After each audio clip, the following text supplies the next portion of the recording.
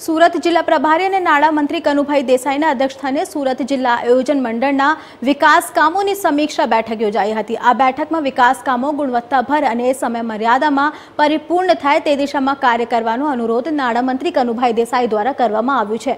તો જિલ્લા કલેક્ટર કચેરીના સમખામણામાં યોજાયેલી બેઠકમાં પ્રભારી મંત્રી કનુભાઈ દેસાઈએ જણાવ્યું હતું કે રાજ્ય સરકાર સર્વે વિસ્તારના સર્વાર્ગી વિકાસ માટે પ્રતિબદ્ધ છે અને ત્યારે વિકાસ કામો ગુણવત્તાપૂર્વક અને સમય મર્યાદા શરૂ થાય તે પૂર્ણ થાય અને જરૂરી છે.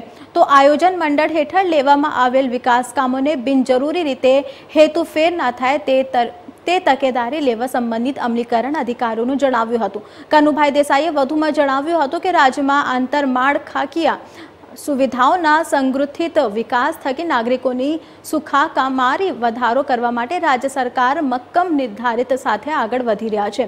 તો ગ્રામ વિસ્તારોમાં ખૂંટિત સુવિધાઓને, કામોને પ્રાધાન્યને આપવા તેમજ આયોજન હેઠળના વિકાસ કામોના મોનિટરિંગ કરીને પૂર્ણ કરવા માટેના સઘન પ્રયાસો કરવામાં જણાવ્યું હતું.